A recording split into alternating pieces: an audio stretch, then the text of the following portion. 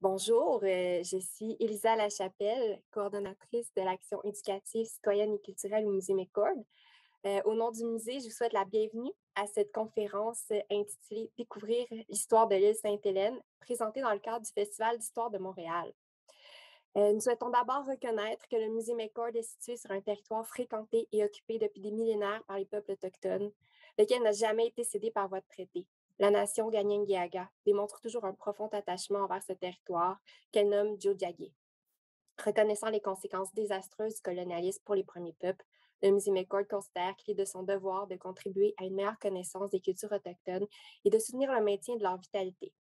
La conférence d'aujourd'hui est présentée par Mathieu Lapointe, conservateur archive du Musée McCord.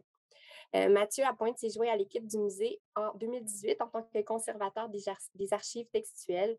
Il travaille avec son équipe à préserver, à développer et à promouvoir cette collection afin d'en faire bénéficier tant les, chercheurs que le grand public. Historien ayant acquis une formation complémentaire en sciences de l'information, il détient un doctorat en histoire canadienne de l'Université York et une maîtrise en histoire de l'Université de Montréal. Spécialiste de l'histoire de Montréal et des idéologies et de la culture au Québec, il s'est notamment intéressé à l'histoire des mouvements citoyens, des discours moralisateurs et des enquêtes publiques dans la métropole au 20e siècle. Son ouvrage Nettoyer Montréal, les campagnes de moralité publique 1940-1954 a entre autres remporté le prix Robert Prévost de la Société historique de Montréal et le prix de l'Assemblée nationale du Québec, décerné par l'Institut d'histoire de l'Amérique française. Euh, son livre est d'ailleurs en vente à la boutique du musée, si ça vous intéresse. Plus récemment, il était le conservateur en charge de la préparation de l'exposition Île Sainte-Hélène au musée Stuart, qui n'a malheureusement pu être présentée à cause de la fermeture du musée au printemps dernier. La conférence d'une durée de 45 minutes se déroulera en français et sera suivie d'un échange de 15 minutes avec le public en français et en anglais. Les questions du public pourront être posées dans le clavardage ou le Q&A via la plateforme Zoom ou la page Facebook du musée. Je remercie chaleureusement Mathieu Lapointe d'être avec nous ce midi. Je souhaite une agréable rencontre. Mathieu, le micro est à toi. Merci beaucoup, Elisa, pour cette belle présentation. Euh, bonjour à toutes et à tous. Euh, merci de venir euh, prendre un moment avec moi. Je vais partager euh, ma présentation. Donc, je, vous remercie beaucoup d'être venu partager cette heure-là, cette heure avec moi. prendre un moment en cette belle journée ensoleillée où nous aimerions peut-être tous être à la plage Jean Doré pour explorer l'histoire de l'île Sainte-Hélène.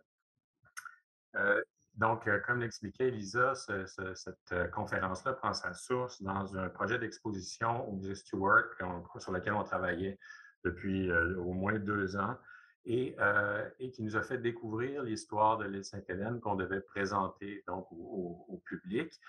ça nous a fait découvrir toute, toute l'historiographie sur l'île Sainte-Hélène, mais aussi énormément de beaux, de belles iconographies, de belles images, euh, de personnages intéressants, etc. Et donc, euh, même si euh, les Montréalais connaissent l'île Sainte-Hélène parce qu'ils ils, assistent souvent à des événements spéciaux là-bas. On, connaît très peu l'histoire de l'île et pourtant elle est très riche, elle est très intéressante et donc c'est ce que je vais essayer de vous présenter aujourd'hui. Pour l'exposition, on avait privilégié une approche thématique, c'est-à-dire avec des grands thèmes qui euh, traverse l'histoire de l'île de façon à montrer les parallèles entre le passé et le présent. Par contre, aujourd'hui, euh, je voudrais utiliser une approche plus traditionnelle, c'est-à-dire partir euh, des racines, des débuts et suivre le fil chronologique de l'île. Donc, un survol chronologique de l'île, de l'histoire de l'île. des îles, dans le fond, parce qu'il y a des îles, il y a l'île Sainte-Hélène, mais il y a des îles voisines, mais on va voir un peu comment tout ça évolue beaucoup avec le temps. Euh, au niveau des images, malheureusement, on a plus d'images sur les périodes beaucoup plus récentes, euh, plus récentes, disons le dernier siècle, les siècles et demi, avec la photographie, etc. Euh, donc, vous allez voir qu'il y a peut-être un petit déséquilibre, un peu moins de, photos, d'images, en fait, pour les, périodes antérieures, mais je vais essayer de pallier un peu à ça du mieux que je peux. Autre euh, problème, en 45 minutes, je me suis rendu compte que c'est impossible pour moi de synthétiser l'ensemble d'histoire de l'histoire de l'île jusqu'à aujourd'hui. Donc, je vais essayer de me rendre à peu près jusqu'à Expo 67 comme euh, point de conclusion. Euh, ça m'aurait pris plus de temps pour, pour faire une, histoire vraiment complète. Première note, lorsqu'on a travaillé, on a pu bénéficier d'une historiographie déjà riche sur l'histoire de l'île Sainte-Hélène. Donc, on a fait des, travaux un petit peu de, recherche, mais ben, en fait de recherche dans les sources, mais en général, on s'est fié à l'historiographie existante et il y a beaucoup de travaux très intéressants. Si jamais vous avez besoin d'une d'orientation sur les travaux à, consulter sur telle ou telle période, n'hésitez pas à me contacter pour ça. il y a vraiment des sources très riches à consulter. Je voulais dire aussi que c'est un travail d'équipe qu'on a fait. donc, la recherche, ce n'est pas seulement moi, mais François Vallée et, d'autres membres de l'équipe que j'essaierai de nommer plus en détail si j'ai du temps à la fin, mais c'est un travail collectif. Commençons par un petit peu de géographie, parce que la, géographie des îles a tellement changé avec le temps que ça peut valoir la, peine de, voir de quoi ça avait l'air auparavant. Donc, jusqu'au début des années 60, c'était l'aspect des îles. Donc, au centre, vous voyez l'île Sainte-Hélène, la Grande Île. Un petit peu à droite, qui, qui est à l'endroit où la Ronde se trouve aujourd'hui, c'est l'île Ronde, une petite île en amont qui s'appelait l'île aux fraises ou l'île verte. Et un petit peu plus en amont encore, plus près de, Longueuil, l'île à la pierre, qu'on appelle, qui s'est aussi appelée l'île à Moffat, parce qu'un homme d'affaires au 19e siècle avait acheté l'île dans le but de faciliter le transport, raccourcir le transport entre Montréal et la rive sud. ces îles-là se trouvent dans une sorte de euh, goulot d'étranglement du fleuve Saint-Laurent. L'île Sainte-Hélène se trouve environ à 600 mètres de Montréal et très près de Longueuil aussi. Donc, deux, euh, c'est des îles qui vont se trouver, euh, dont l'histoire va se trouver inextricablement liée à l'histoire de Montréal et à l'histoire de Longueuil. Au nord, en fait, à, l'ouest de l'île, donc ce qui nous paraît le nord sur cette carte-là, l'île est bordée par un, courant très vif qu'on appelle euh, le courant Sainte-Marie, qui a aussi donné son nom euh, à la prison au pied du courant, donc euh, qui, est juste à l'est du pont Jacques-Cartier, comme vous le savez. Donc, ce, courant-là est un obstacle naturel qui va faire de l'île un endroit encore plus sécuritaire, que, encore plus difficile d'accès d'une certaine façon, qui va accentuer sa, sa nature sécuritaire. Euh, la dimension de l'île Sainte-Hélène à l'origine est d'environ 53 hectares comparé à aujourd'hui où c'est trois fois plus. Donc, euh, dans l'exposition, on voulait explorer différentes thématiques que je fais simplement nommer parce que vous allez vous les voir surgir un petit peu dans mon exposé. Donc, l'île, à travers son histoire, a une vocation stratégique. J'ai déjà parlé de sécurité. Elle va servir de base militaire, mais aussi de prison à différentes reprises, de lieu de départ pour des expéditions. C'est aussi une île qui, contrairement à ce qu'on s'imagine aujourd'hui, a été habitée pendant longtemps par différentes euh, personnes, différents groupes sociaux. Et euh, surtout, c'est une île qui, depuis, euh, depuis l'arrivée au moins des Européens et certainement avant, a été exploitée par les humains et aussi a été transformée. donc, c'était la deuxième thématique. Ensuite, on voulait parler des loisirs et de la culture depuis la Nouvelle-France. Donc, même si c'est vraiment à partir de la création du parc public dans les années 1870 qu'elle acquiert cette vocation-là, qu'elle a encore beaucoup plus fortement avec euh, euh, l'Expo 67 et depuis 50 euh, ans. c'est quand même une constante dans son histoire. Et enfin, on voulait terminer avec la dernière thématique qui, que, que je voulais qu'on voulait développer, c'était euh, la contemplation de l'île et de la ville de Montréal à partir de l'île, et aussi tous les rêves qui ont été faits à propos euh, de l'île Sainte-Hélène à, partir du 19e siècle en particulier. Euh, notre exposé aujourd'hui va être articulé autour des grandes périodes de l'histoire de l'île Sainte-Hélène, donc l'époque précoloniale ou autochtone d'abord, l'époque seigneuriale, ensuite le complexe militaire britannique au 19e siècle, puis ensuite la dernière grande phase, le parc public, donc de 1874 à aujourd'hui, euh, avec une dernière période sur Expo 67. Mais comme je vous l'ai dit, je n'aurai probablement pas le temps beaucoup euh, de traiter euh, de cette partie-là. Donc, la période, euh, disons, autochtone, bon, euh, l'archéologie atteste une activité humaine sur l'île au moins depuis les années 1200, bien avant, évidemment, euh, l'arrivée des Européens. Le fleuve Saint-Laurent, que les Haudenosaunee, ceux qu'on appelait autrefois Iroquois, appellent Kanyata-Rowanene, était au cœur de l'existence du peuple iroquoien que Jacques Cartier a rencontré dans la région en 1535. Pour en savoir plus sur les, euh, Iroquois, je vous recommande chaleureusement le livre de Roland Viau que, vous voyez en ce moment. Euh, euh, mais on peut dire que, pour résumer, c'était un peuple tourné vers le fleuve, non seulement pour le commerce et le transport, mais aussi pour les ressources que le fleuve procurait, de la pêche, pour la pêche, pour les, matériaux, pour les paniers, pour les canaux, évidemment, etc. Euh, avec, euh, avec leur technologie raffinée et leur fine connaissance du milieu, les Iroquois tiraient pleinement parti des ressources de ce milieu marin et insulaire dont faisait partie l'île Sainte-Hélène. Ils commerçaient également sur de longues distances avec les peuples du nord-est de l'Amérique du Nord, tant en amont qu'en aval de Montréal, jusqu'au golfe du fleuve, à travers ce vaste réseau euh, hydrographique dont la région est l'un des carrefours on pourrait dire que le fleuve est un peu l'autoroute du nord-est du continent. Il y a deux sites archéologiques qui ont été fouillés euh, sur l'île euh, relatifs aux cultures euh, autochtones. le site du pavillon, qui est près du pavillon des baigneurs, le complexe aquatique, où des artefacts datant d'entre 1200 et 1400 ont été retrouvés, et celui de la roseraie, où ce sont des artefacts d'une période plus récente, entre 1400 et 1600 les résultats de ces fouilles sont très prometteurs et en fait, l'île Sainte-Hélène, au niveau archéologique, est très prometteur parce que pour une, meilleure préhistoire de toute la région de Montréal, parce que malgré tout ce qu'on, malgré ce qu'on peut penser, la terre de l'île a été relativement moins dérangée que celle de Montréal, qui a été sujette à plusieurs couches de bouleversements au fil des siècles de développement et d'urbanisation. Entre le passage de Jacques Cartier et l'arrivée de Champlain, qui ne les retrouve plus, ce peuple semble avoir été dispersé et ses membres survivants ont vraisemblablement été intégrés à d'autres euh, groupes iroquois et même algonquiens. À ce titre, il est probable qu'eux et leurs descendants aient continué de fréquenter la région de Montréal, euh, même s'ils avaient cessé de l'habiter entre le milieu du 16e siècle et celui du 17e siècle.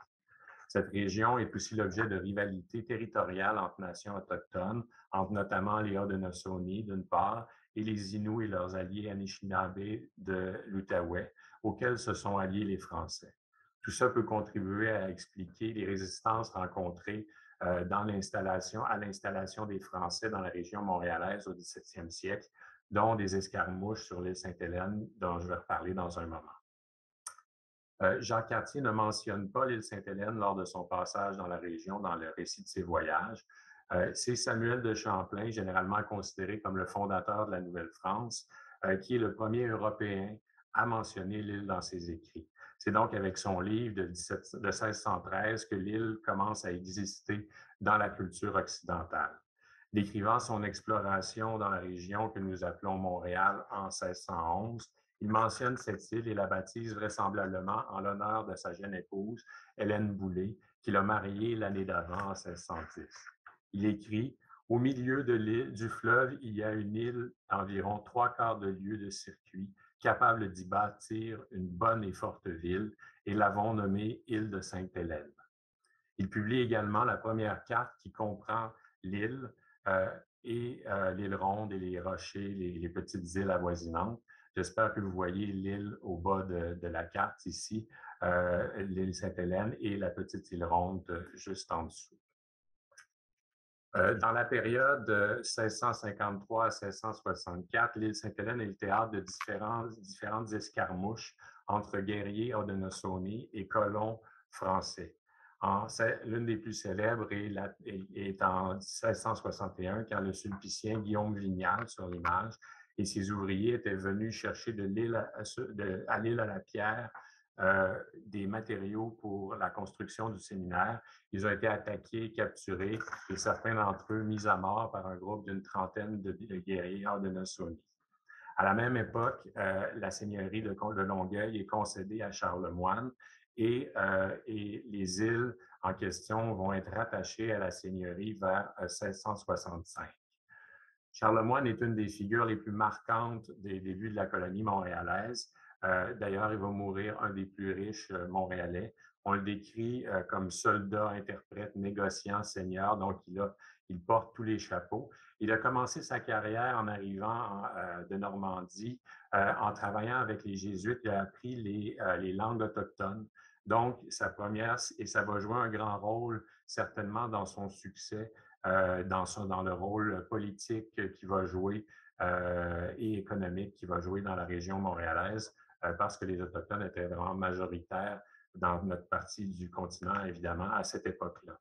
Donc, il va agir à, titre d'interprète, de diplomate, en plus de faire la guerre et, le commerce avec et contre des nations autochtones.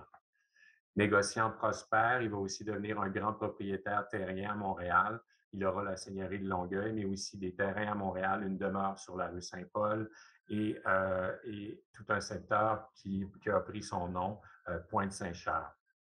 Il est anobli euh, en 1668 par le roi de France, un privilège très rare dans la colonie. son fief va même être érigé en baronnie en 1700 et donc, on parlera dorénavant des barons de Longueuil, un titre héréditaire qui s'est transmis jusqu'à nos jours. Le baron actuel de Longueuil, je crois, habite en Angleterre et ses, ancêtres aussi depuis un siècle ou deux. Euh, Charlemagne a aussi eu une nombreuse descendance, dont douze fils, et plusieurs d'entre eux vont marquer l'histoire militaire et politique de la colonie, comme le célèbre euh, Pierre Lemoine d'Iberville, euh, Paul Lemoine de Maricourt.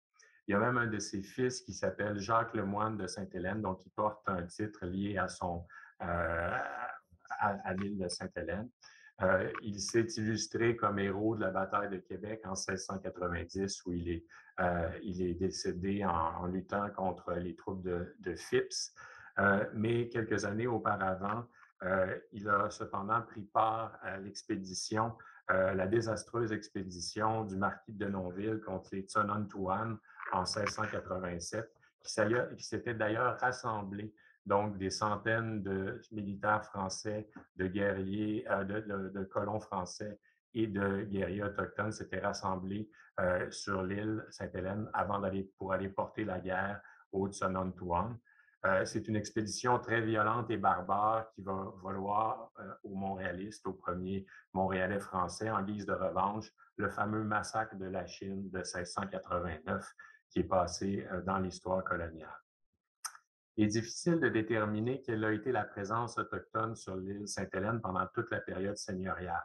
Par contre, on sait que cette famille a été fortement engagée dans la diplomatie avec les Autochtones, notamment les Haudenosaunee, euh, notamment euh, Charles Lemoine de Longueuil, donc le premier baron qu'on voit ici, euh, et aussi son frère Paul Lemoine de Maricourt, ce qui va rendre ces individus-là très précieux aux yeux des autorités françaises.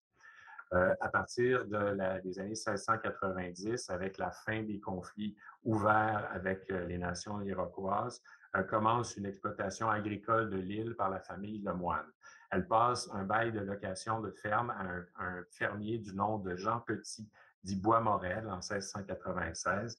Et donc, on construit une ferme sur l'île Sainte-Hélène et plusieurs générations de cultivateurs vont se succéder pour cultiver la terre et s'occuper du domaine au service des barons de Longueuil. On sait aussi, euh, malheureusement, que des personnes réduites en esclavage ont, été, ont travaillé sur l'île Sainte-Hélène. L'inventaire après décès du second baron de Longueuil euh, en 1755 mentionne la présence sur l'île d'un homme de 25 ans du nom de Mercure et une femme d'une femme anonyme de 30 ans, énumérée parmi simplement les biens du défunt. Donc, les Lemoines comptent parmi euh, les plus importants propriétaires d'esclaves de la colonie. Et lors du partage des successions, la famille se partage les esclaves. Les familles sont divisées sans vergogne entre les héritiers. Ces personnes sont vraisemblablement affectées aux travaux les plus durs qu'on peut euh, imaginer sur l'île. Et l'île est donc déjà à cette époque un lieu dont certains sont en quelque sorte prisonniers. La famille fait bâtir aussi à cette époque-là le manoir, ce qu'on appelle le manoir, qui est en fait une, au côté, sur le côté est de l'île Sainte-Hélène, une maison de campagne en pierre qui va servir de résidence familiale l'été tout au long de la période seigneuriale. Dans les années 1770, la maison est entourée de jardins, de potagers euh, et même d'une serre, peut-être la première au Canada. Celles-ci ont été, euh, tout ça a été aménagé sous la supervision de Marianne Catherine Fleury Deschambault, baronne douairière de Longueuil. Au fil des années, on aménage aussi sur l'île une étable, une écurie, une bergerie ainsi qu'un verger de pommiers et une cidrerie. Euh, euh, l'ingénieur anglais euh, Dunford a reconstruit à partir de, nature, a refait les plans du manoir de l'île Sainte-Hélène.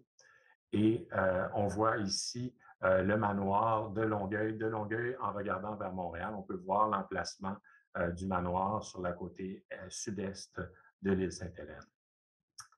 on voit très bien le domaine sur, cette, sur ce, plan de Durnford. On voit bien euh, tout euh, le, domaine avec les vergers, etc., les jardins et le manoir qui se trouve ici. Euh, et surtout, les, les, moines vont bâtir des moulins. donc, en, fait, ils vont bâtir un moulin à la, pointe nord-ouest de l'île, des un moulin qui va jouer un rôle important dans la région. Donc, ce premier moulin à eau-là est construit vers 1717 et c'est l'un des plus importants de la région qui va faire concurrence à ceux des Sulpiciens sur euh, l'île de Montréal. Les meuniers et leurs familles vivent dans les combles du moulin. À la fin du 18e siècle, William Grant, le nouveau seigneur de Longueuil, construira un deuxième moulin, presque au même endroit, entre l'île Sainte-Hélène et l'île Ronde, qui va jouer lui aussi un rôle important dans l'économie et l'alimentation de la région et du Bas-Canada.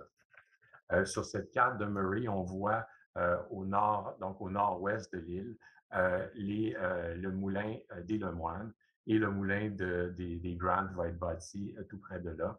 Et ici, on a la cheminée, une des rares images des ruines des moulins qu'on ait retrouvées, qui serait la cheminée du, probablement du moulin des Grant vers 1865. Euh, des visiteurs euh, prestigieux vont, euh, vont visiter l'île, comme Père Kahn, le botaniste suédois, qui va remarquer une végétation peu typique de la région, ce qui laisse sous-entendre que les, les, Lemoines sont allés chercher des espèces exotiques qu'ils ont plantées sur l'île pour enrichir leur, pour enrichir la végétation de l'île. Il y a aussi Bougainville, le célèbre explorateur et soldat qui va passer visiter euh, la Baronne en 1757. À la fin de la guerre de, la conquête, l'île Sainte-Hélène joue encore un certain rôle parce que le commandant des troupes françaises, Lévis, euh, se replie sur Montréal après la défaite de Québec et euh, il fortifie, il construit des fortifications sur l'île Sainte-Hélène et demande au gouverneur la permission de se battre jusqu'à la fin contre les Anglais. Le gouverneur lui refuse cette permission-là pour éviter un massacre et euh, Lévis, par dépit, brûle euh, euh, ses, drapeaux. Et, la légende voudrait que ces drapeaux-là aient été brûlés sur l'île Sainte-Hélène, et certains historiens en doutent. les premières, donc sur cette carte de Murray qu'on voyait il y a un instant, on voit très bien les fortifications que Lévis a fait faire quelques années auparavant. Et jusqu'au 20e siècle, certaines des fortifications au sud-ouest de l'île vont, euh, demeurer euh, encore euh, à l'état de ruine, mais en tout cas vont garder une trace de ce passé-là. Après la conquête, on a les premières vues de l'île Sainte-Hélène, du moins en partie en regardant vers Montréal. On remarque aussi la présence autochtone qui est signalée là, comme symbole de l'exotisme du pays ou comme réalité vue par le, peintre, on ne sait pas. Mais en fait, c'est un marqueur d'une présence euh, potentielle, en tout cas. et euh, donc, après la conquête, euh, la seigneurie de Longueuil est en très mauvais état au niveau financier. L'île demeure la propriété des barons de Longueuil, mais la seigneurie, donc, les, les, moulins tombent en ruine, faute de moyens pour les rénover. Le sort de la famille et de la baronnie va s'améliorer grâce à des alliances matrimoniales avec des immigrants écossais, les Grant. Donc, Marie-Catherine Fleury Deschambault, Marie William Grant, que vous voyez à gauche, un marchand, un grand propriétaire terrien.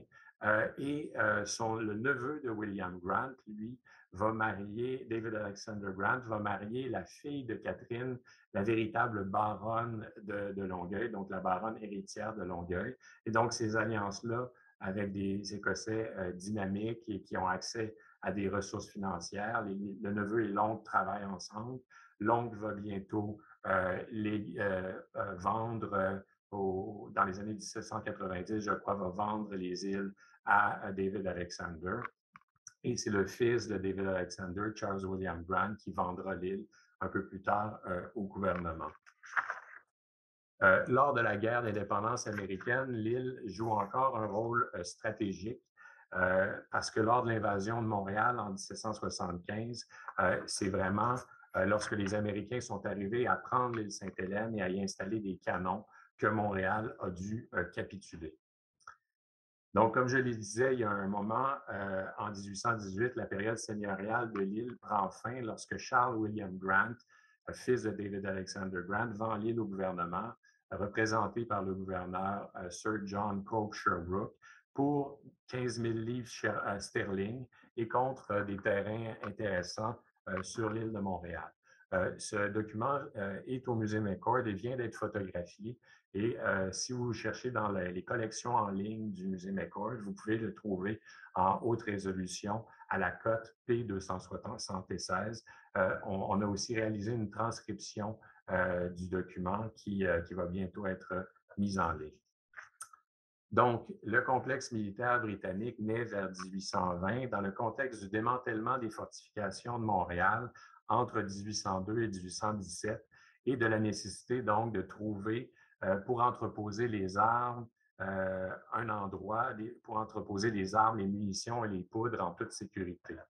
Euh, l'emplacement de l'île Sainte-Hélène semble idéal pour assurer la sécurité de ses équipements et aussi celle de la colonie pour protéger Montréal des attaques américaines qui pourraient venir en amont du fleuve comme, comme de Laval par le Richelieu. On est au lendemain de la guerre de 1812-1814 où évidemment ces menaces-là se sont concrétisées le lieutenant-colonel Elias Walker Dunford, euh, commandant du génie royal pour les Canada, euh, choisit l'île Sainte-Hélène et supervise la construction du complexe militaire, euh, comme il va superviser la construction de la citadelle de Québec à la même époque. Donc, de 1820 à 1824, on construit un arsenal, une caserne, deux poudrières et des magasins, le tout encadré par des remparts et un mur d'enceinte. Le complexe est l'un des dépôts de munitions anglais les plus importants en Amérique du Nord. Euh, il va se développer rapidement. On compte euh, plus de 60 bâtiments, petits et gros, euh, forts, batteries, quais, blockhouse, entrepôts et maisons, qui vont s'ajouter jusqu'en 1860. On voit ici les principaux bâtiments militaires situés sur cette carte de 1867 qui a été peaufinée et annotée par Martin Royer euh, probablement le plus grand spécialiste du complexe militaire, qui a fait à son sujet la meilleure synthèse en quelques pages dans le livre Lumière sous la ville. Sous, la ville. Donc, euh, si jamais vous êtes intéressé par le complexe militaire, euh, je vous conseille d'aller voir ce livre-là qui est vraiment, qui, résume le tout très bien en quelques pages. Les principaux bâtiments du complexe militaire sont d'abord l'arsenal, donc construit en forme de bastion et qui sert à entreposer armes et munitions. C'est le bâtiment euh, principal du complexe. Il est situé euh, près du fleuve pour faciliter le transport. Il sert aussi à loger des soldats en temps de conflit. En 1845, il est en partie transformé en prison militaire, mais trois ans plus tard, un incendie le ravage et il ne va être construit, euh, reconstruit qu'en 1863 pour revenir à sa fonction initiale. Un siècle plus tard, évidemment, vous le reconnaissez, euh, ça deviendra le bâtiment du musée Stewart. Au départ, il y avait, euh, là où se trouve la promenade actuelle, des magasins contenant des armes, des munitions, des uniformes qui fermaient la cour. Donc, un bâtiment qui semble avoir été construit dans les années 1830. Et l'arsenal, évidemment, est une des pièces les plus typiques du complexe et a continué d'inspirer les artistes depuis au moins deux siècles. la petite poudrière, dite de distribution, pouvait contenir 1500 barils de poudre et située tout près de l'arsenal, à l'abri d'un mur de rempart. La grande poudrière, quant à elle, dite d'entreposage, pouvait contenir 5000 barils, a été construite plus loin de la rive, au centre de l'île, dans un creux naturel. Elle n'est pas visible du fleuve, elle est en partie camouflée par une forêt dense et donc, en, cas d'attaque aussi, elle pouvait être inondée par un cours d'eau qui se trouvait à proximité, ce qui rendait ces euh, explosifs inutilisables.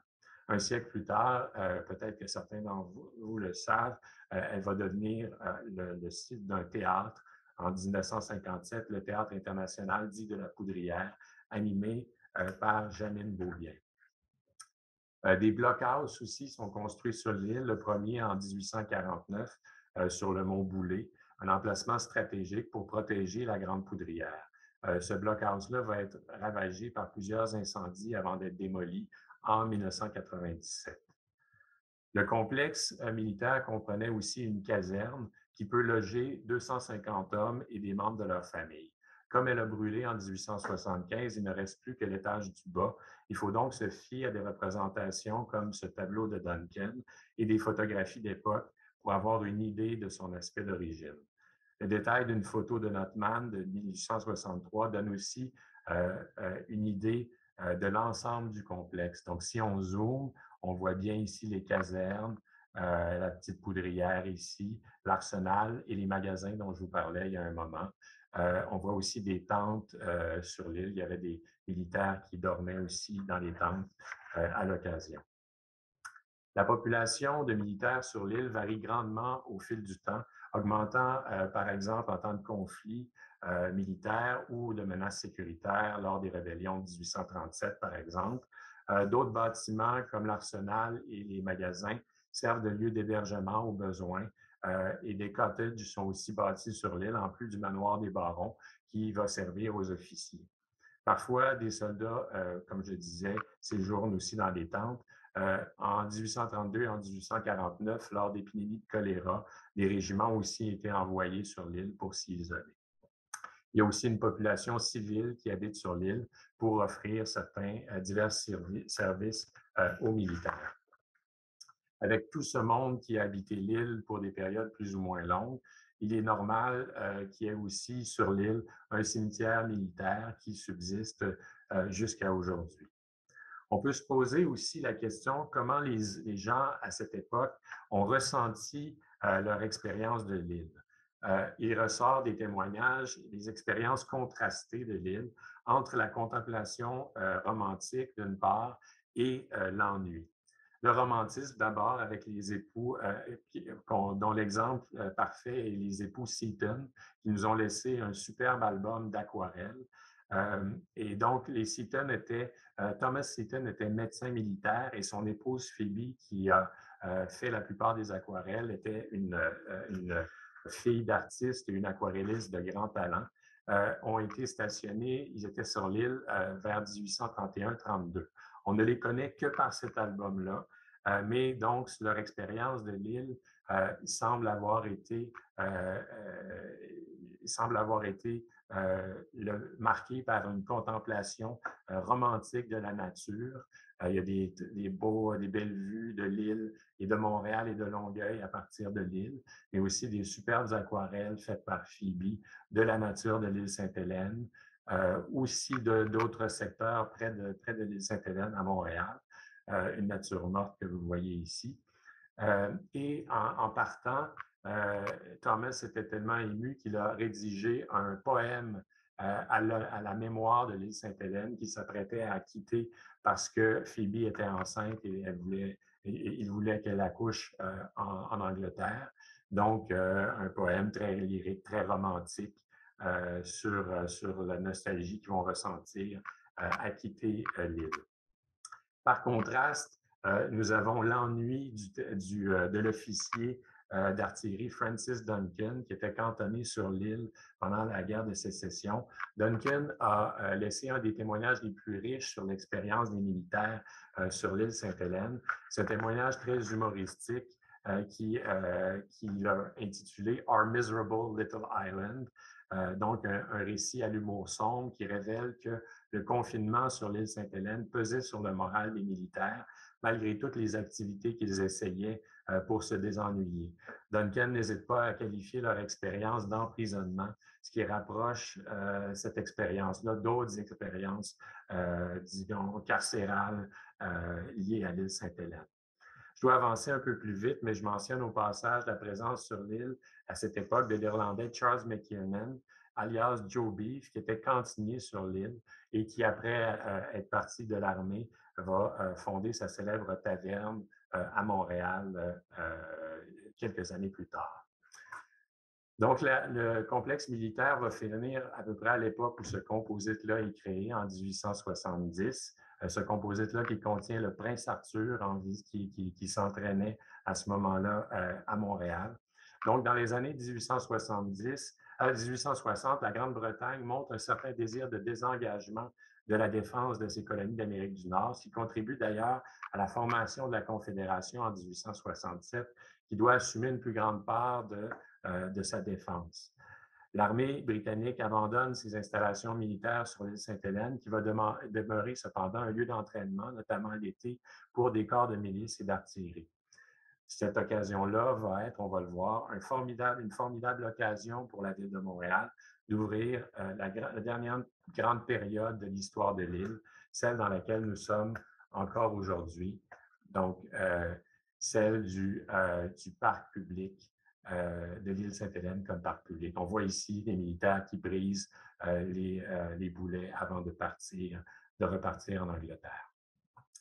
Donc, je commence cette phase-là avec une, citation de la nanny de la famille Drummond qui, en voyage avec la famille à Londres en 1867, euh, visite euh, avec la famille le parc Hyde. Elle dit uh, We all after our breakfast, we all walked to Hyde Park. What a large, beautiful place it is. If only they had one like it in Montreal, what an improvement it would be. Euh, donc, euh, Montréal, dans les années 1860, n'avait pas encore les grands, les grands parcs qu'on lui connaît aujourd'hui. Et c'est justement dans la décennie suivante, dans les années 1870, que les premiers grands parcs publics vont être créés, dont celui de l'île Sainte-Hélène. Donc, euh, Aldis Bernard est surnommé le maire des parcs parce que c'est sous son mandat très court que les principaux parcs, certains des principaux parcs que l'on connaît ont été fondés, donc le Mont-Royal, euh, ouvert euh, donc à cette époque-là, l'île Sainte-Hélène, le parc La Fontaine et euh, même le square Dominion. donc, longtemps réservé à l'élite seigneuriale et aux militaires, l'île Sainte-Hélène va s'ouvrir à la population en 1874, mais le gouvernement fédéral dans, dans l'entente de location qu'il contracte avec la ville, exige que la partie militaire de l'île reste sous son contrôle, donc soit euh, clôturée, et que l'île euh, puisse revenir, euh, revenir au gouvernement fédéral en cas de conflit, ce qui va être le cas pendant la Première et la Deuxième Guerre mondiale. Le gouvernement va récupérer l'île Sainte-Hélène. Néanmoins, la, fondation du parc en 1874 est vraiment le moment de démocratisation de l'île Sainte-Hélène alors que vient d'être créé le parc du Mont-Royal près des grands quartiers bourgeois du Golden Square Mile. Celui de l'île Sainte-Hélène est conçu comme un espace de loisirs et de saine détente pour les, gens des quartiers ouvriers du bas de la ville, les quartiers euh, Sainte-Marie, euh, euh, Saint-Jacques, par exemple. Avant même l'ouverture officielle, on, fait des pique-niques pour l'essai, mais en, juin 1874, le jour de la Saint-Jean, le parc est inauguré en grande pompe avec un, immense concert avec 6000 personnes qui y assistent et, plus de 600 choristes, 23 orchestres. Euh, la popularité de l'île ne va pas se démentir dans les années suivantes. Des centaines de milliers de personnes s'y rendent chaque année et on note une forte affluence, en particulier le dimanche et les jours fériés. Outre l'air frais, l'ombre et la verdure, toutes sortes d'attractions euh, attendent, les visiteurs. Manège, balançoire, stand de tir, kiosque à musique et bal musette, pavillon de repos, comptoir de friandises et de rafraîchissement. si la forme de ces divertissements-là a, évolué, le caractère populaire de l'île Sainte-Hélène, ouverte à tous et à toutes, ne s'est jamais démenti. Son petit côté commercial aussi, avec la responsabilité du divertissement et des services confiés à des concessionnaires privés pour les traversiers, les breuvages, les amusements, etc. Euh, les différentes communautés de Montréal, euh, les différentes communautés religieuses et ethniques vont s'approprier l'île. Les sociétés nationales euh, organisent souvent les leurs pique-niques annuels à l'île Sainte-Hélène, parfois en se finançant, en doublant le prix du traversier. Donc, la moitié du prix du traversier va à financer la Société nationale. On voit ici le pique-nique des Irlandais protestants euh, la société euh, bénévole des euh, protestants irlandais à l'île Sainte-Hélène. et donc, c'est le cas pour toutes les communautés de, Montréal. Et notamment, on offre des billets de faveur aux organismes qui s'occupent des enfants pauvres, les orphelinats, mais aussi tous les organismes sociaux. et donc, l'île va devenir vraiment rapidement on pourrait dire l'île des enfants. Euh, la fête des neiges, euh, c'est pas c'est, pas nouveau d'une certaine façon, euh, mais c'est très impressionnant quand, on regarde les sources d'époque, les dizaines de milliers d'enfants qui affluent sur l'île Sainte-Hélène à chaque année, souvent accompagnés de gens pour les encadrer, mais parfois recueillis dans les parcs, les différents parcs de la ville. Donc, ça donnait probablement une pause aux parents l'espace d'une journée. mais donc, c'est vraiment c'est vraiment, ça ressort beaucoup dans les sources, ce caractère-là euh, de l'île, dont beaucoup d'enfants vont garder ensuite des souvenirs euh, émus. Pour aller à l'île, je l'ai mentionné, on prenait le traversier. donc, l'accès à l'île s'améliore énormément avec les traversiers. il y avait des traversiers régulièrement à chaque heure et en 8 minutes pour 10 à 15 sous, on pouvait accéder à l'île. Donc, c'était vraiment pas mal accessible à tous. Euh, pendant l'hiver, euh, attendez, oui, pendant l'hiver, on pouvait aussi accéder à l'île euh, par des ponts, par le pont de glace depuis longtemps. mais vraiment, les traversiers sont le, grand progrès du transport jusqu'à la création du pont Jacques-Cartier. L'île va servir très rapidement au, au, sport de toutes sortes, comme le baseball ici que vous voyez en 1874, mais surtout évidemment la natation.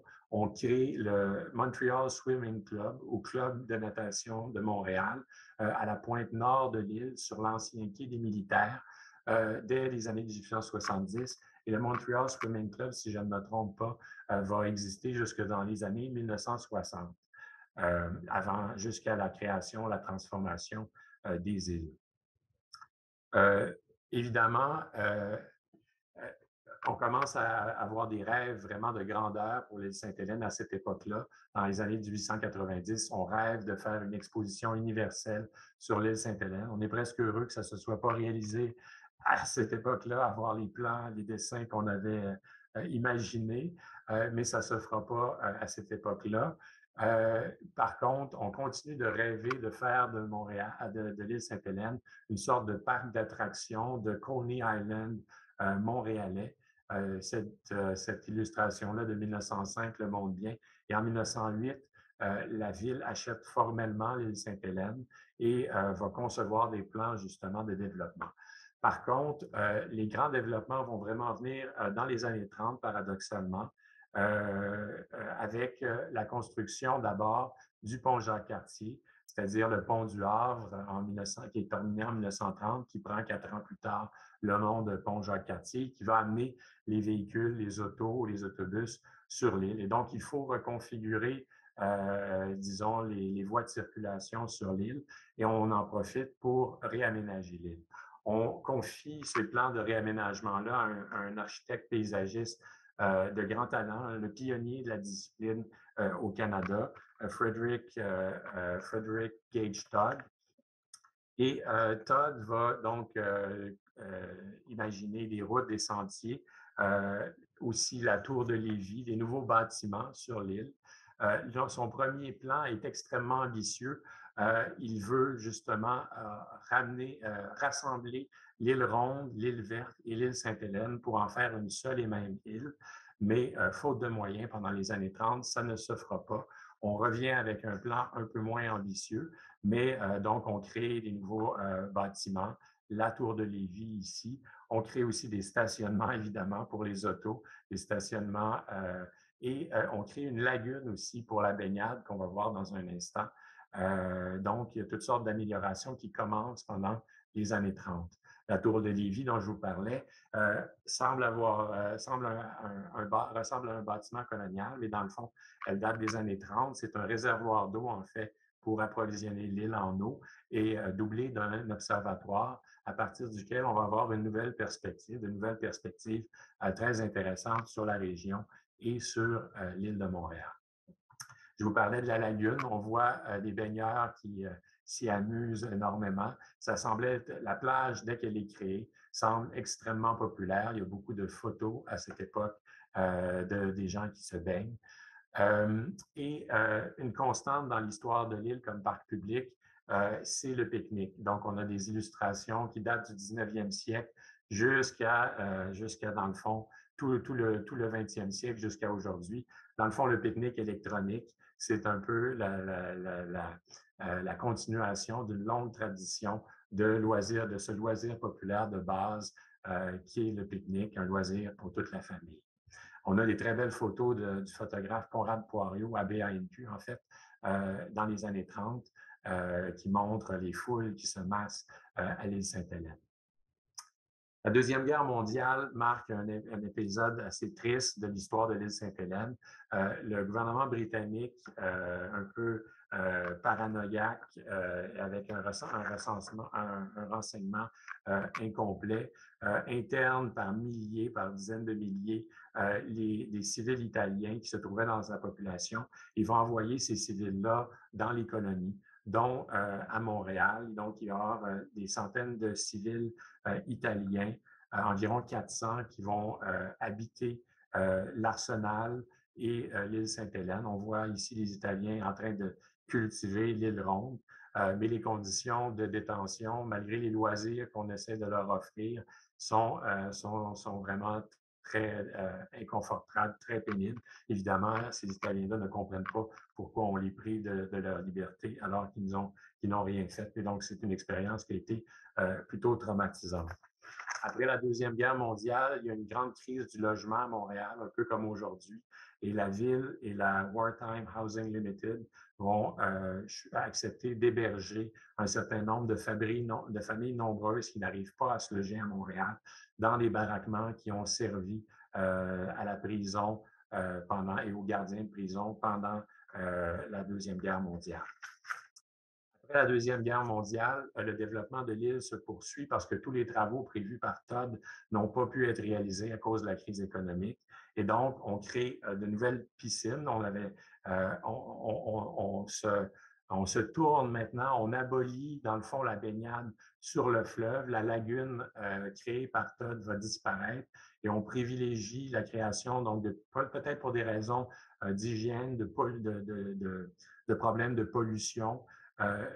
Et aussi parce que la lagune subissait une érosion avec le fleuve. Donc, on crée ces grandes piscines-là qui sont en fait les premières piscines publiques extérieures de la ville de Montréal. On crée aussi à partir du pavillon des sports le restaurant Hélène de Champlain en 1955, euh, qui va euh, être ouvert, qui va jouer un rôle important euh, au niveau diplomatique pendant l'Expo 67 et, et, qui va être ouvert jusqu'à ces dernières années. donc, ça fait seulement quelques années que le restaurant a été fermé pour des problèmes, de, je crois, d'architecture. Toujours en 1955, euh, David McDonald Stewart fonde le musée militaire et maritime de Montréal, donc le futur euh, musée Stewart. Cette fondation-là est facilitée par la rénovation qui avait eu lieu dans les années 30 euh, des, bâtiments historiques qui étaient tombés auparavant en désuétude. Donc, quelques années plus tard, le musée va déménager dans la petite poudrière et ensuite, un peu plus tard, dans l'arsenal. Au départ, il était dans le blockhouse, j'ai peut-être oublié de le dire, et ensuite, ça déménage dans la petite poudrière, puis dans l'arsenal. Donc, après la mort de M. Stewart, euh, alors que sa femme poursuit son œuvre, le musée va prendre le nom de Musée Stewart. Et euh, donc, on voit dans ce dépliant, sur lequel je vais passer rapidement, donc les nouvelles structures de l'île, le pavillon des baigneurs. Encore du stationnement qui vient de se rajouter, signe que l'automobile prend une plus grande place toujours sur l'île et la tour de Lévis. et aussi la plaine des Jeux qui avait été aménagée par Todd dans les années 30. Évidemment, la, la, plus grande transformation que l'île a subie, vous la voyez ici, c'est la transformation qui a lieu lorsque le maire Drapeau a réussi à obtenir la tenue de l'exposition universelle et internationale de 1967. c'est alors que vont pouvoir se réaliser sous une forme différente les rêves ambitieux de, de Frederick Todd. En moins d'un an, donc, l'île Sainte-Hélène voit sa superficie tripler en absorbant les îles Rondes et l'île aux Fraises. Et l'île Notre-Dame est créée de toutes pièces en absorbant notamment l'ancienne île Moffat, euh, l'ancienne île à la pierre. Les sédiments du fleuve ne fournissent que la moitié de la quantité de remblai nécessaire pour créer Notre-Dame. Bien que la ville en achète et utilise tous les matériaux extraits du chantier du métro, il, en manque toujours. Donc, l'architecte en chef de l'Expo 67, Édouard Fizet, va trouver une solution originale qui va rehausser la beauté du site, du site créer des lacs et des canaux. Donc, c'est pour ça qu'il y a autant de lacs et de canaux dans, sur les deux îles, mais notamment à l'île Notre-Dame. Donc, la construction du métro de Montréal, la station île Sainte-Hélène, euh, bon, en, 1961, euh, le maire Jean Drapeau lance le chantier du métro de Montréal, qui va, donc 26 stations réparties sur trois lignes, vont ouvrir juste à temps pour l'Expo 67. Et la station Île-Sainte-Hélène, renommée Jean Drapeau depuis 2001, va bâtir toutes les, tous les records de fréquentation, accueillant à elle seule 418 000 personnes en une seule journée. L'Expo 67, évidemment, euh, a été un franc succès. Plus de 50 millions d'entrées au tourniquet. Toute la planète semble s'être donné rendez-vous euh, à Montréal cet été-là. C'est un été d'effervescence et de découverte extraordinaire pour les Montréalais, les Québécois et tous les visiteurs canadiens, américains et étrangers qui convergent sur le site. Le temps me manque pour vous en parler euh, plus longuement, euh, mais plusieurs sauraient d'ailleurs le faire mieux que moi. Il y a beaucoup de grands spécialistes de l'Expo 67 et comme on va manquer de temps, vais, je, ne pousserai pas beaucoup plus loin. Mais je veux vous montrer cette merveilleuse, ce merveilleux montage photographique euh, qui a été réalisé récemment par euh, la photographe du, euh, du McCord, Marilyn Atkin, à partir de plaques photographiques et qui étaient donc, il y avait peut-être une trentaine ou une quarantaine de plaques photographiques et, qui a permis de recréer ce plan extrêmement détaillé de l'île Sainte-Hélène à l'été d'Expo on n'avait pas dans la photothèque de, la ville de Montréal de photos d'ensemble, de l'ensemble du site. Et donc, le, musée est assez fier d'avoir pu reconstituer euh, cette, photo euh, du euh, site de l'expo. Autre chose qu'on peut souligner, c'est que du point de vue de l'histoire autochtone, dont on a malheureusement souvent la, difficulté à retracer les traces justement sur l'île Sainte-Hélène, l'île a joué un rôle important lors de l'Expo 67 euh, parce que le pavillon des Indiens du Canada, c'était son nom officiel, a été un lieu important de prise de parole euh, pour euh, les, Autochtones et a permis de mettre en lumière dans les années 60 les graves enjeux qui affectaient les communautés autochtones à travers le Canada, de critiquer, de critiquer aussi l'attitude et l'action colonialiste des gouvernements et de revendiquer un respect de leurs droits et de leur culture. La ronde, quant à elle, euh, a été ouverte euh, donc en même temps et va venir euh, réaliser concrètement la vocation foraine de l'île Sainte-Hélène, dont plusieurs rêvaient depuis le 19e siècle, sans pour autant détruire la beauté naturelle de l'île Sainte-Hélène. En effet, dans toutes ces transformations, on semble avoir voulu épargner le plus possible l'intégrité de la partie historique de l'île antérieure à 1963, considérée comme un patrimoine historique et naturel. Donc, je vais m'arrêter ici parce qu'on arrive déjà à 13 heures.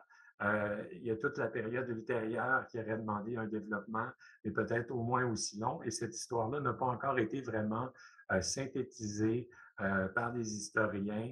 il y aurait un beau travail à faire, en fait, pour reconstituer l'histoire de l'île en interrogeant, par exemple, les témoins d'époque, mais aussi en ayant fouillé les archives.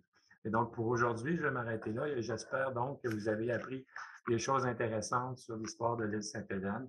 Et, et, je vous invite à, poser des questions ou faire des remarques si jamais vous, voulez, vous voulez le faire. Je vous remercie beaucoup et bonne journée. Merci Mathieu. et puis, ben, on a des questions. Donc, si, si, tu veux répondre à quelques questions. Donc, ben, en fait, il y avait Patricia Forget qui demandait si on aurait la chance de voir l'exposition sur les Sainte-Hélène ou si du moins il y aurait une publication à ce sujet.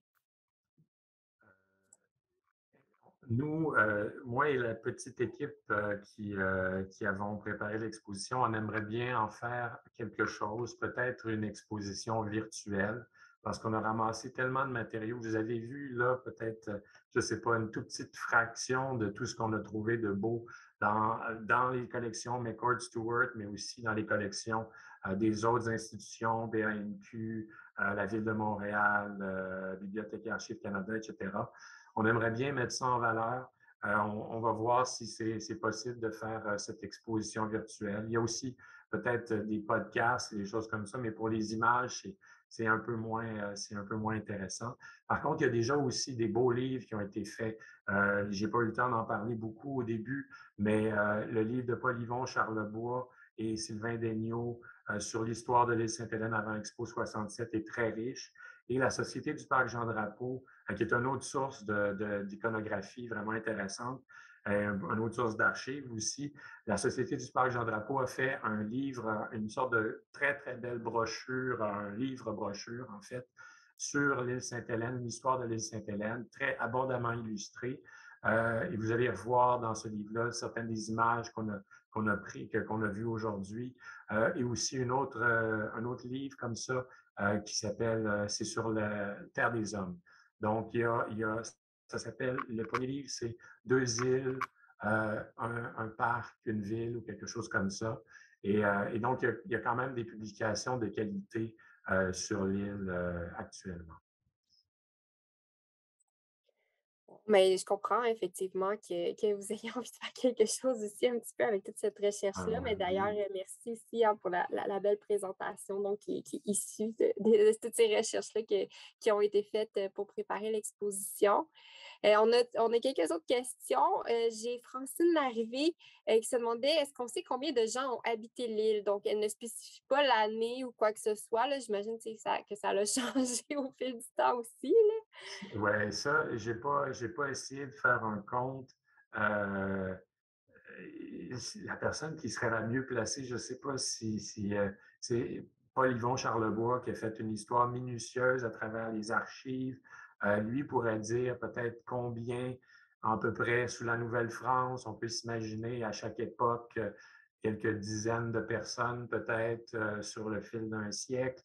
dans la période seigneurale. Sous la période militaire, ça pouvait varier entre, euh, je ne sais pas moi, une centaine. Et, dans les périodes de pointe, je crois que ça, ça a même frôlé peut-être le millier. Mais ça, c'est des périodes où il y avait vraiment une alerte sécuritaire, un besoin particulier où là, on faisait.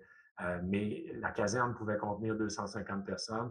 Puis il y avait aussi d'autres, euh, il y avait l'arsenal, il y avait d'autres d'autres bâtiments, des cottages, des tentes. Donc, on pouvait euh, mais un compte exact. Et, aussi, pendant la période du parc public, ça, j'ai oublié d'en parler, je n'avais pas vraiment le temps, il y avait les gouverneurs du parc, c'est-à-dire le gardien du parc, le gardien en chef, habitait dans un cottage au parc. Il s'appelait, il avait le titre ronflant de gouverneur, c'était le gardien du, euh, parc. Et euh, les policiers qui travaillaient au parc venaient par le, traversier tous les matins, repartaient tous les soirs. Il y avait quand même une famille qui vivait un petit peu en, sur l'île. Et, ça, euh, il y a la Société historique du Marigot. Je crois que c'est Mesdames Bolduc et Dulude qui ont fait un très beau livre sur les, gardiens du parc à la fin du 19e siècle, au début du 20e siècle. Et c'est un livre romancé. Et c'est très riche. Ils ont fouillé les archives parce qu'il y a des archives liées à l'île Sainte-Hélène aussi à Longueuil parce que, parce que l'île a été un, passé lié à, Longueuil aussi. Euh, et euh, dans ce, il y a aussi beaucoup de passages documentaires euh, sur l'histoire du parc de l'île Sainte-Hélène dans ce livre-là de Bauduc et Dulude qui est à consulter. Mais non, malheureusement, on n'a pas fait de compte. Ça, demanderait, parce que le problème avec l'île Sainte-Hélène, c'est qu'il n'y a jamais eu de paroisse à l'île Sainte-Hélène. Fait que les, sources qui permettent de retracer l'activité humaine sont très éclatées. Il faut chercher dans les inventaires après décès, les archives de la ville de Montréal pour le parc, les archives de la seigneurie. C'est, en tout cas, ce n'est pas un exercice facile à faire, mais Polyvon Charlebois est celui qui l'a fait de, façon la plus complète. Donc, pour répondre à sa question, il faudra aller voir. J'espère que ça, répond un peu.